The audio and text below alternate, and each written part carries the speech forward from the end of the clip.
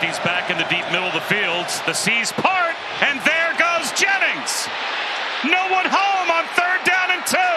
Touchdown. 59 yards. There's You just see Kevin Jennings here. He's able to hit that gap. There's just no one home, and when you're playing a zero type of.